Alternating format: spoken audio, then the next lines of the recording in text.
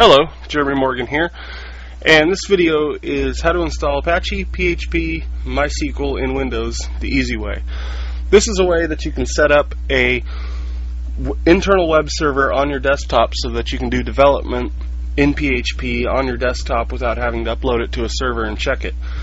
This may not seem like a huge time saver, but over a, a long amount of time with uh, big enterprise projects, it's definitely a time saver. And speaking of time savers, we're actually not going to install Apache, PHP, and MySQL altogether. We're going to use XAMPP, which bundles it. Now, if you want to get a little bit more advanced, you can install Apache, PHP, and MySQL all separately and then tie them together. It's not a very difficult process, and it's better for a little bit more control over what you're doing. But XAMPP is definitely better for beginners, I've found. Now, the first thing I want to do is go to Google and we will look for XAMPP. And as you can see, it's right there. And then we want to scroll down to XAMPP for Windows and scroll down to download.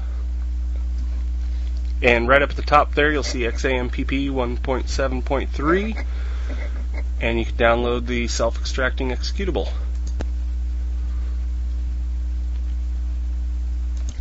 To save a little time, I've already downloaded it here to this folder, so we will double click on the executable and get started.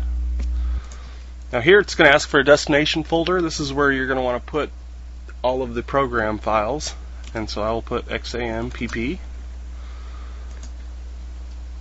and click install. Okay, now it's done. And just as a note, it will be a little bit slower on your machine. I cut that part out of the video just to save us time so you're not sitting twiddling your thumbs while it's installing. And the first question is, should I ask, add shortcuts to the start menu and desktop? I'm going to select yes. The current directory does not match configured directory. I must relocate. I put yes. Should I make a portable XAMPP without drive letters? Now this one I'm going to choose no. As it says in the notes, it's for if you want to use USB sticks with XAMPP. So you can take uh, on a USB stick and plug it into another computer and run it. And since we're doing desktop development on this desktop, I'm going to select no. And it's going to start relocating. And it's ready to use. Here it's going to say I have set the time zone to America Los Angeles. Press return. And here we have the startup menu. And you can actually exit out of that because you don't need to use it. Okay, and for this next part, we'll drag over the desktop icon and we'll double click on XAMPP control panel. Now here you'll have a control panel that pops up that has Apache, MySQL, FileZilla, Mercury, and you can start any of these at any time.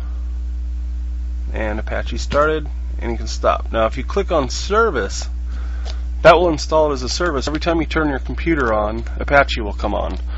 This might be good for some users but generally I want to be able to turn the services off when I'm not using them so it's not taking up extra memory. So I generally don't install them as services. I just uh, start the services as they're needed when I'm doing development so let's go ahead and start it up and we'll uh, see what we see in localhost. I'll drag this down a little bit. And what you'll want to do is type in localhost and there's your XAMPP page which shows that it's installed successfully. You've got a set of languages here you can select from. Now one of the things we'll do here, let's go ahead and start up our MySQL server while we're at it and we'll click on English. It says congratulations, you have successfully installed XAMPP on this system. Now here you can check all kinds of different things. You can check the status, security, components. PHP info is one of the most helpful pages we have here. If you scroll through here, this will show all the settings that have been dialed in for you by XAMPP. And sometimes you will need to refer to these settings and you'll need to change them in your PHP INI if uh, something isn't enabled that needs to be or you want to disable some things. getting to know your PHP INI is very important for your server because you can you can change a lot of stuff. You can add a lot of things. You can remove a lot of things. You can do a lot. One thing that should be noted if you do a lot of custom PHP INI stuff, if you upload it to your web server, there is a possibility that they won't have the same settings or the same software installed that you do. So you definitely have to be careful with building software around configuration. Now there are ways around that also. If you can change the PINI on your server that you're hosting at, then you're fine. But if not, then you will run into problems. So let's go ahead and go into our XAMPP folder here. And we'll want to go to htdocs. This is where your HTML documents are stored that are being displayed right now. So you can go in and you can edit either of these if you'd like to change some things. So we're going to go ahead and edit this in Notepad++. We're going to edit index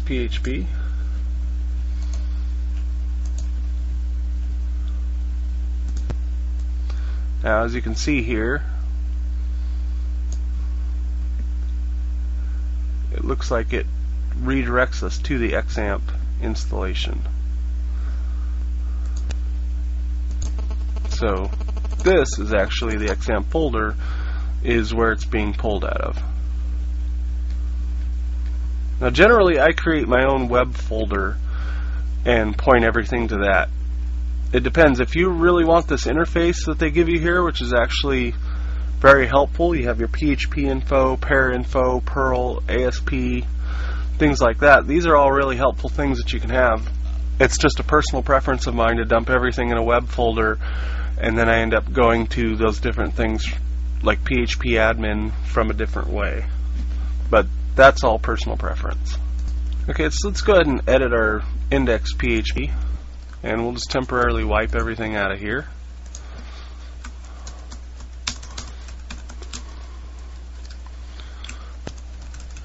We'll put a little HTML in here just to verify a working installation. And we'll load up the web server. And we have this works. So we can see that the web server is working. For the second part of this, in order to do the exercises that I'm showing on YouTube, what I'm using to access the database is MySQL Workbench. This is available from mysql.com.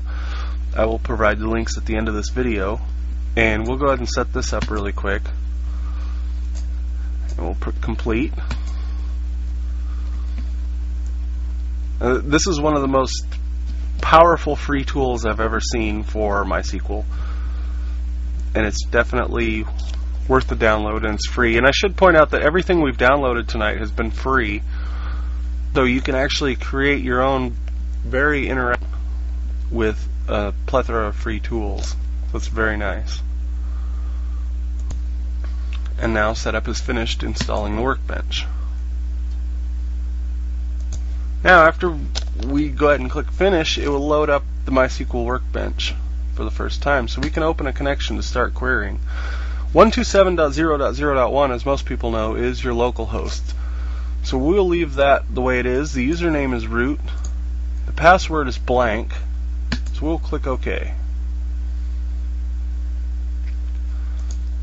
And here we can actually see in our PHP server test tables or sorry, MySQL server.